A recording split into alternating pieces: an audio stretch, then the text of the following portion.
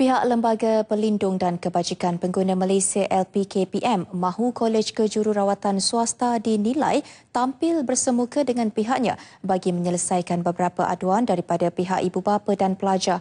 Ini berikutan aduan ibu bapa dan pelajar berkaitan kemudahan asrama yang tidak selesa dan tidak sempurna. Naib Presiden LPKPM Dr. Lee Nansan menegaskan sekiranya pihak kolej masih terus bersikap berdiam diri masalah tidak selesai.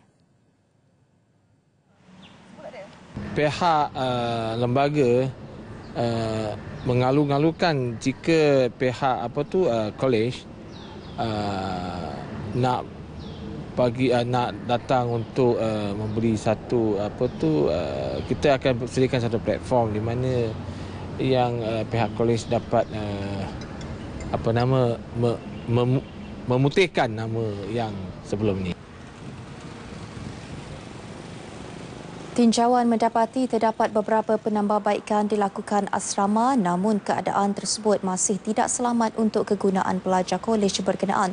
Difahamkan beberapa kemudahan seperti dobi dan pengering baju juga sedang dalam pembinaan. Bagaimanapun, kru RTM yang hadir membuat liputan di kolej terbabit tidak dibenarkan meninjau penambahbaikan yang sedang dijalankan. Sebelum ini asrama tersebut pernah menerima notis kompaun dan amaran kerana tidak menepati piawaian keselamatan. Justru operasi bersepadu itu pihak lembaga bersama beberapa anggota Jabatan Bomba dan Penyelamat Negeri diadakan untuk memeriksa aspek keselamatan di asrama kolej berkenaan.